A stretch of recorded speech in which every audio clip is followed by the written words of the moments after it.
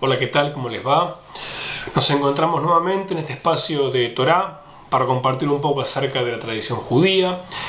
La parashá de la semana, Parashat Pinhas, nos cuenta acerca de un episodio que es conocido no por muchos, no es un episodio muy relevante en lo que es el, el relato bíblico, es un espacio en sí mismo.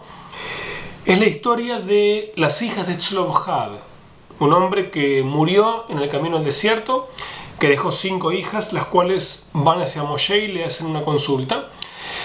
Y le dicen que su padre murió en el desierto justamente y no dejó ningún hijo varón para que pueda eh, tener la herencia de su padre. La pregunta de ellos era qué hacemos nosotros, ya que en, hasta ese momento no existía ninguna ley que amparara y que permitiera a las mujeres eh, hebreas ¿sí?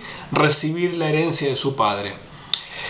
En ese momento Moshe se consulta con, su grupo de ancianos y lo que deciden es a partir de ese momento permitir que la mujer, en el caso de no tener ningún hermano varón, ¿sí? que las hijas mujeres puedan recibir la herencia de su padre, en este caso en Slovhad se refería obviamente a territorios y, y cosas materiales.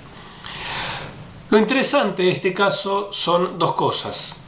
En primer lugar, el reconocimiento al rol de la mujer y a su figura ya en tiempos bíblicos. No es el único caso que tenemos en la Torah, pero menos en la para nos enseña este caso puntual de las mujeres.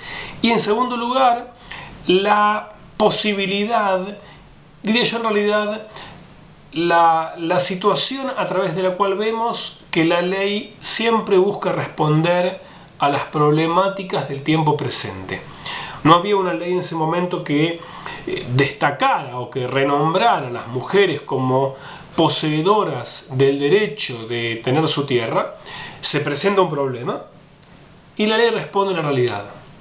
Es decir, que la ley judía es una ley que busca que vivamos con ella, que busca responder a un origen y a un pasado y una tradición, jamás alejarse de ella, pero al mismo tiempo tener la posibilidad, tener la capacidad de responder siempre a la problemática del día a día, para que la Torah sea Torat Haim, Torah de vida, para que podamos vivir con ella, a partir de ella y a través de ella.